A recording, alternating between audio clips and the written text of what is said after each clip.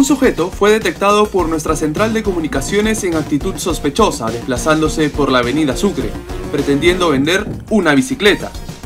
Al ser intervenido por personal de Serenazgo y efectivos de la Policía Nacional del Perú, se comprobó que no contaba con documento de identidad ni podía dar razón sobre la propiedad de la bicicleta que llevaba y trataba de vender, tratándose de un caso de aparente hurto.